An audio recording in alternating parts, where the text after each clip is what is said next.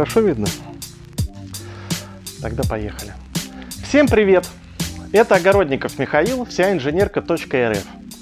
Сегодняшнее видео я хочу посвятить э, системам отопления, а конкретнее поделиться своим опытом по прокладке труб э, отопления по полу, внутри стяжки, по установку радиаторов отопления, э, рассказать, какие есть обязательные моменты для исполнения какие очень желательные, а вот как раз э, некоторые моменты можно обойти стороной. В частности, сейчас очень много организаций, которые свои услуги предлагают, и они могут предлагать дорогостоящие довольно элементы системы э, отопления, которые, ну, при прокладке труб, подключении радиаторов, которые не нужны абсолютно вам. Или наоборот, э, не использовать э, довольно недорогие элементы, которые э, повышают надежность системы. Ну что, давайте поговорим поподробнее об этом. Поехали. Давайте начнем с распределительного коллектора. В данном случае у нас две группы коллекторов. Коллекторы теплого пола и коллекторы радиаторного отопления. Давайте поговорим про подключение труб э, к коллекторам. В данном случае я использовал вот такие вот пресс-соединения.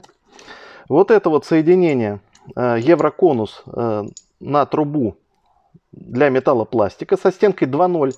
Производитель Valtec однозначно в своих документах говорит, что вот этот фитинг можно использовать на красных трубах, на трубах теплого пола со стенкой 2.0. Он допускает это. Далее, подключение трубы Э, со стенкой 2.2 или 2.6, 16 на 2.2 и 2.6 стабил. Соответственно, тоже вот здесь вот евроконус, а здесь получается монолитное соединение. То есть вы надвигаете гильзу, когда течи здесь быть ну, практически не может. Об этом доказывают тесты производителя Ростест. Э, в общем, российского производителя, не помню как точно, они опыты проводят, и рвется везде, кроме вот этого соединения. То есть на 40, на 50 барах лопается труба, но только не течь вот здесь даже плохо сделанная. Соответственно, у вас соединение евроконус. Это конус с резиновым колечком. Что такое евроконус? По сути, это американка. То есть, как часто в вашей практике, в опыте где-либо текли американки? Ну, я не могу такого припомнить. Есть только во время ремонта какого-то, туда кто-то штукатурки внутрь или цемента не напихал, э, то есть неплотное соединение, резинки разорвал, ну тогда это может быть. Соответственно, пресс-соединение однозначно. Сейчас вот система опрессована, давление здесь 10 бар, все находится в испытательном режиме перед заливкой полов. И как видим, течей никаких нет, да и не может быть. Что из себя представляют компрессионные фитинги, которые очень часто используют монтажники? Для этого не нужно никакого инструмента, соответственно, не нужно пресс клещей, которые механические стоят, ручные, порядка там 20-30 тысяч, наверное.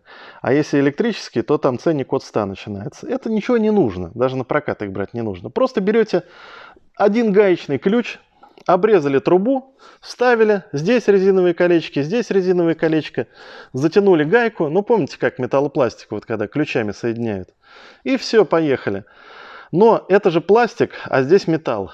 Пластик движется все время, то есть так у нас соединение не получается металл и металл, температурное расширение одинаковые, и поэтому там движения практически никакого нет, все синхронно происходит, резиновое колечко держит хорошо.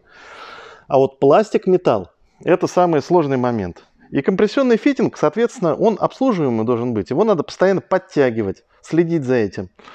Ну зачем это все нужно? Это какой-то каменный век получается. То есть что? Сэкономить 100 рублей на каждом фитинге и геморрой заказчику добавить потом. Я считаю, так не должно быть. Только вот так вот, пожалуйста, обращайте внимание на это. Соответственно, Подключение радиаторов. Я считаю, единственное правильное подключение радиатора это из пола. Э, не из пола, а из стены нижняя. Вот так вот должно быть в каменном доме. В каждом быть сделано, если это технически возможно. Соответственно, подключение радиатора я провожу на те же самые вот эти пресс-фитинги. Вот он. И не использую здесь нержавеющие или медные хромированные трубки. То есть, если посмотреть вот так вот вдоль стены, то буквально 2 сантиметра вы будете видеть вот эту вот трубу здесь. 2 сантиметра всего лишь. Это на время монтажа. Утеплитель здесь надет, потом он будет подрезан. Соответственно, 2 сантиметра. Насколько это плохо, ужасно и так далее, чтобы использовать вот такие трубки. Ну вот эта трубка полметровая, она стоит около 2000 рублей, розничная цена. Есть 35 э, сантиметров, они там, или 25 сантиметров, они стоят там, ну, 1000 рублей где-то, каждая трубка, а их надо две. Соответственно, некоторые э, YouTube э, тренеры говорят, что если вы хотите Mercedes, цитирую, то эта трубка здесь должна быть. Зачем она здесь нужна? Объясните мне. Из-за этих двух сантиметров, то есть на каждый радиатор надо переплатить 2000 минимум, и стык стык, который будет здесь обязательно, замуровать вон туда. Я не понимаю этого, абсолютно не понимаю. То есть я считаю, что прелесть э, лучевой разводки в том, что у вас нет ни одного стыка, нет ни одного тройника в стяжке. То есть для этого и переделают после застройщиков трубы. А тут получается, мы опять, ну стык вроде он с одной стороны очень надежный, но с другой стороны, зачем? Не понимаю. Теперь по поводу прокладки труб. Э, в данном случае длина труб э, от 13 до 20, наверное, метров, вот самые дальние радиаторы. У труб, поскольку они пластиковые, есть температурное расширение. Поэтому, чтобы труба э, не вот так вот волной начала вся двигаться, нельзя допускать, чтобы от и до труба шла по прямой. Соответственно, должны быть какие-то компенсационные изгибы, где труба сможет двигаться да, и компенсировать свои э, температурные расширения. По поводу монтажа труб. Поскольку утеплитель довольно нежный, я, э, мне очень понравился способ крепления на вот такие вот ленты текстильные. Это довольно быстро, если у вас есть монтажный пистолет. У меня он есть. И не портится теплоизоляция. То есть, если вы будете делать э, из металла это все, то теплоизоляция вот здесь может повредиться. Трубу кто-то ногой пнет во время монтажа э, той же стяжки, например. И э, просто металлическая лента порвет теплоизоляцию. По деньгам получается где-то там то на то. Я сначала почему-то не хотел покупать ленту Тоя, наверное, потому что ее сложно найти в продаже.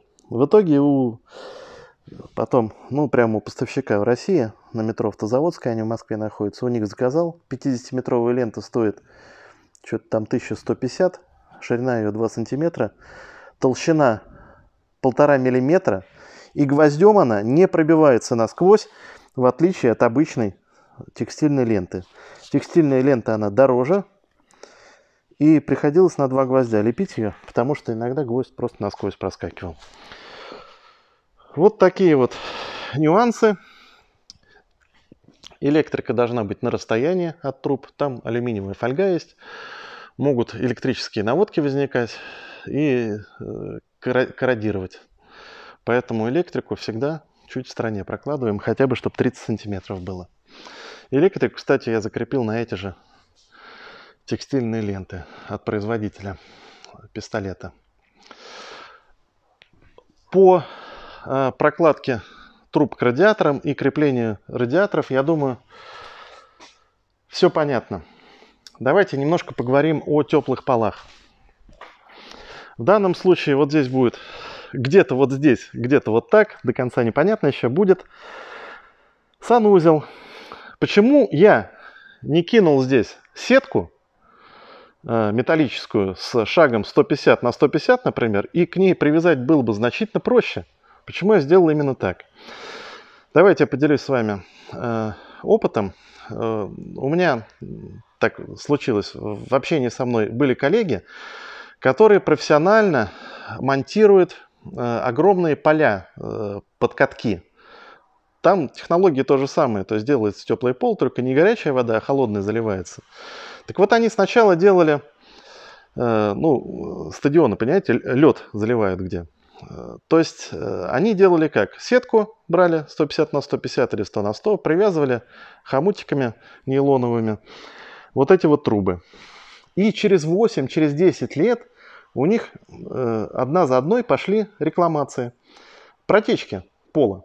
Они вскрывали, смотрели, и что они выявили? Что эта сетка с толщиной прута 3 мм, 4, 5, она выглядит точно так же, как арматура. Она имеет насечку, вот такую. То есть, если вы посмотрите на сетку, вы это увидите. И получается, что труба, э, сужаясь, расширяясь, а если у вас стоит какой-то э, настенный термостат, который меняет, например, в течение суток несколько раз температуру теплого пола, включает, выключает, это означает, что труба сужается, расширяется, сужается, расширяется. И она будет тереться постоянно о сетку, к которой привязана. Ну, я думаю, что металл будет крепче, чем пластик. Поэтому это просто вопрос времени, что труба где-то перетрется. Просто вопрос времени. Так что вот такие вот нюансы. Кому понравилось, Подписывайтесь на канал, ставьте лайки. Кому не очень понравилось, тоже подписывайтесь. Всем пока!